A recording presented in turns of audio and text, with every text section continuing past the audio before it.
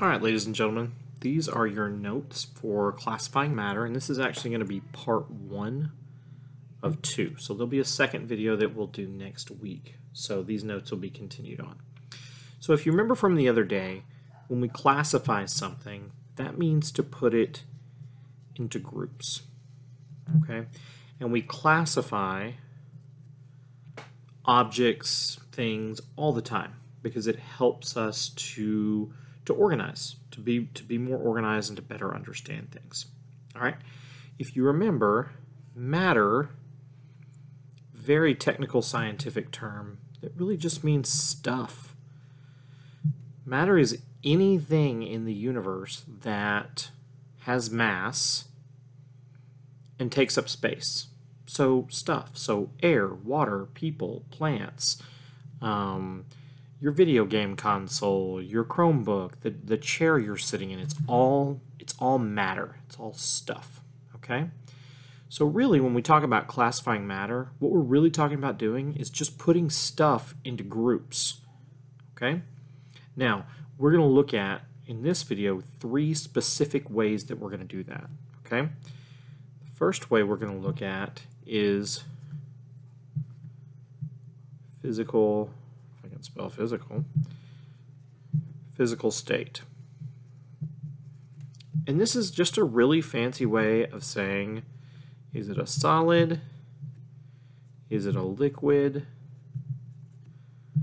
or is it a gas? And that's really it. Like, that's really what physical state is.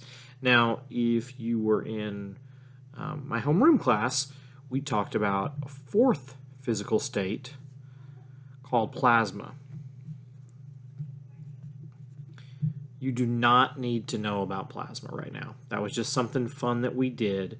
For right now, all you need to know is solid, liquid, gas. If you're not sure what plasma is, but you're interested, um, come talk to me. It's really cool. And if you're not worried about it, don't worry about it because you don't need to know plasma right now. Okay? All you need to know is solid, liquid, gas. All right? I want you to take a couple of minutes, make sure you have this written in your notes. Pause the video if you need to.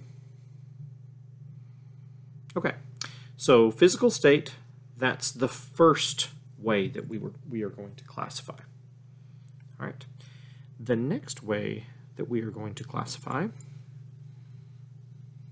or to put stuff into groups, second way is magnetism.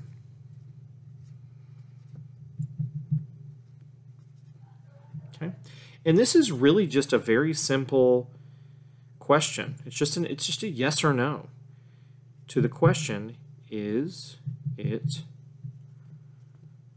magnetic? Yes or no. Now, I'm going to say something right now that you may or may not know. There are actually only three magnetic metals, not all metal is magnetic. There are actually only three, three very specific metals.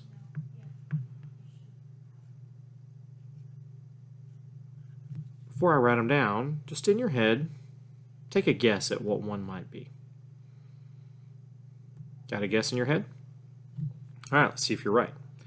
So the first one, and it's the most common, is iron iron is magnetic. Now, if you said steel,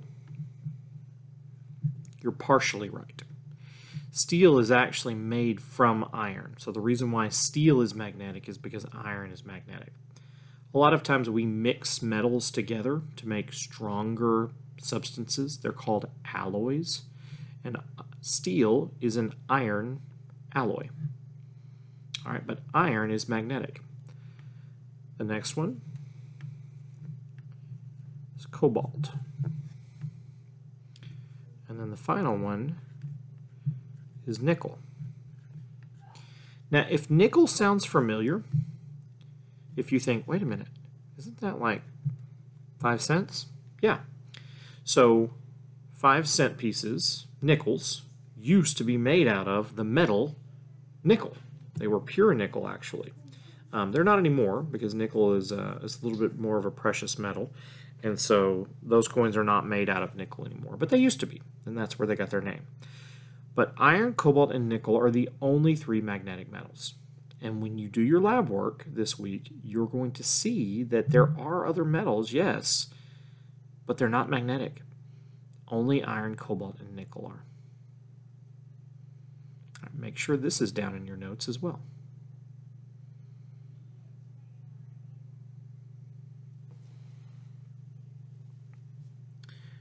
All right, the last way that we are going to classify matter,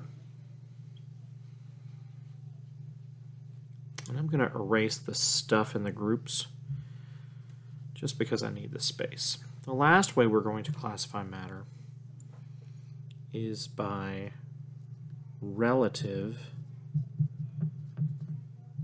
density.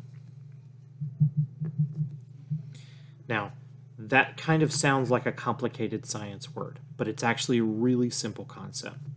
So this word relative means two things. You're comparing two things, okay? So if I said, hey, tell me one of your relatives, you're going to tell me the name of a person that you have a connection with, okay? Whether it's a mom or dad or brother, sister, aunt, uncle, grandma, grandpa, whatever. All right? Density, this is the one that's a little bit harder. All right? Density is actually a measurement of how closely packed together the molecules inside a substance are. Now, even that word molecule may be unfamiliar to you, okay? But if you can imagine, the molecules are all the itty bitty, teeny tiny pieces that make up a substance, right? And density is the measurement of how close those things are together. So if we have two substances, and let's just say this is water. And then we have another substance, and the molecules are more spread out. And let's say this is air. Relative density is just really this simple question. Does it sink or float?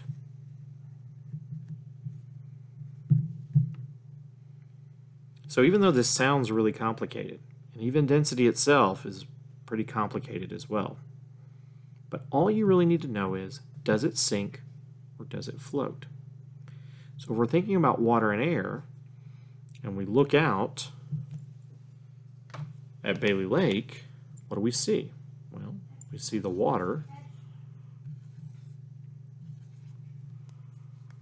and then there's the air on top of it.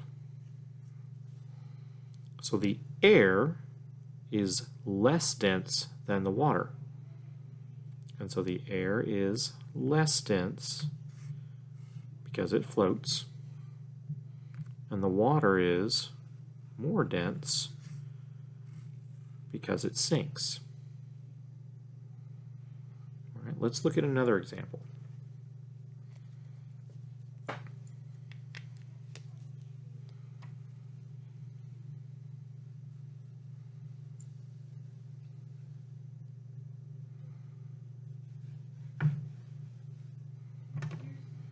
So let's say we had a cup. Cup was empty. And we had a container of oil and a container of water. Now when you do your lab work, you're actually going to see what would happen. But let's say that we poured the water in.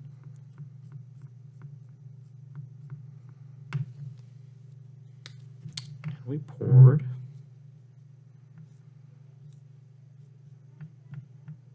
the oil in. To know the relative density, which one would be more or less dense, all we would need to observe is which one's on the bottom and which one's on the top. Now you may already know the answer to this question, but if you don't, you're going to find out when we do our lab work. All right, make sure this is written in your notes.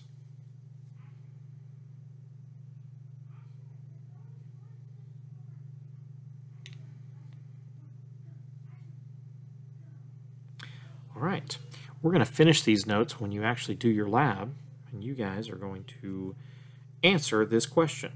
Which is more dense, oil or water? You'll have some other things to answer as well.